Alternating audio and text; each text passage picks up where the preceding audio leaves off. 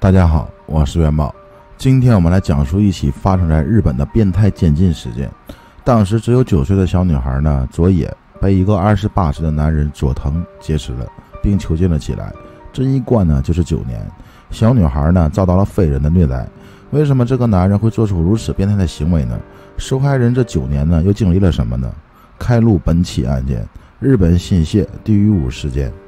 一九九零年的十一月十三日呢，日本新泻县的三条市，一名正读小学四年级的九岁女生佐野放学回家的途中呢，突然被一个从角落里跳出的陌生男子拿着刀子抵住了胸口。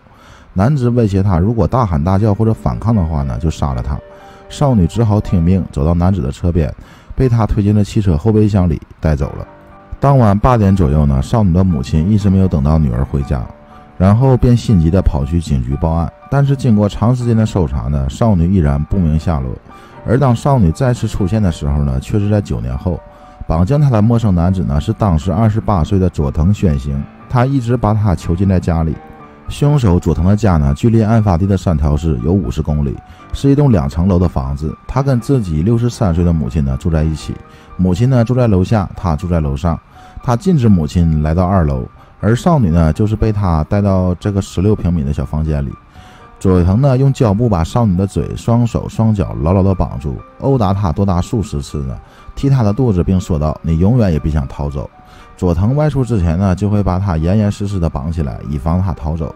有时呢，还会拿刀子抵住她的肚子，说道：“呢，要是你敢逃跑，我就杀死你。”如此不断反复的威胁她。如果少女哭泣的话呢，他会毫不留情地对她进行殴打。佐藤还用电击枪对付少女，少女被强暴时呢，要是发出惨叫声呢，就会被电击。从此，少女的心态崩塌，一声不发。而且，佐藤居住的环境极差，既没有浴室，也没有厕所。他不让女孩洗澡，只拿一个塑料袋呢给他解决大小便。一年或两年呢才给他换一次衣服，都是拿一些偷来的衣服或者是母亲的旧衣服给他穿。吃的呢只有一些泡面，有时呢一天只给他一个紫菜饭团吃一下。少女前八年接触外界的唯一途径呢，就是一台破烂的收音机。而直到被囚禁的最后一年呢，她才获准收看一些电视节目。但是如果他忘记给佐藤录制赛马节目的时候呢，就会被电击。在这样一个狭窄的房间里呢，少女和一个恶魔一起度过了三千多个日日夜夜，受尽了折磨、拳打脚踢以及性侵犯。而事情的转机呢，出现在两千年的一月二十八日，佐藤的母亲觉得儿子行为怪异，就打电话向医院求助。医院的人员呢，来到他们家去查看。打开佐藤房间的时候呢，看见一个身形瘦弱的女孩，随后报警，这起监禁事件才被揭发。日本警方搜查了佐藤的住宅，警方立刻逮捕了佐藤，随后呢，把少女送到了医院。少女在医院洗了这九年来的第一次澡，医护人员给她喝运动饮料呢，她说道：“这是我人生中最好吃的东西了。”少女被绑架的时候呢，体重有四十六公斤，而九年后，十八岁的她还不到三十八公斤，严重的发育不良，腿上呢没有肌肉，行走也相当困难。少女获释后对警方说呢：“我很怕他，不敢逃走。”到了后来呢，连逃跑的能力也没有了。说到这里呢，凶手佐藤为何会如此呢？我们来聊一聊他的人生经历。佐藤的父亲呢是一家出租车公司的董事，与佐藤的母亲呢是二婚。佐藤出生的时候呢，父亲已经六十二岁了，而母亲呢只有三十五岁。因为是老来得子呢，佐藤父亲非常的高兴，总是说呢：“你喜欢什么，想要什么，我都给你买。”在这样的教官下呢，佐藤的性格越来越蛮横，他的反社会人格障碍呢也开始出现苗头。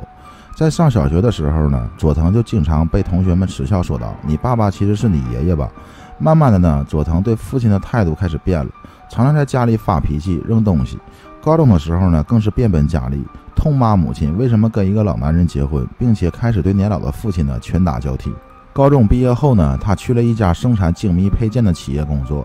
有一次因为迟到呢，被上司责骂，就再也不去上班了，关在家里不出门。父母怎么劝说都没用。他二十岁的时候呢，已经八十二岁的老父亲呢，再也无法忍受儿子的暴力，离家出走去住养老院。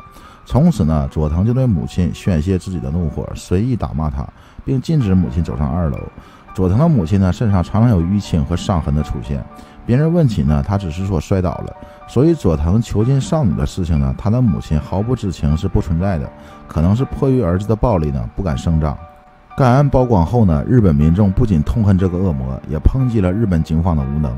因为佐藤在一九八九年呢，曾经企图绑架另一个女孩而被逮捕。当本案少女失踪时呢，她还在保释的期间，但是警方却没有对她加以调查。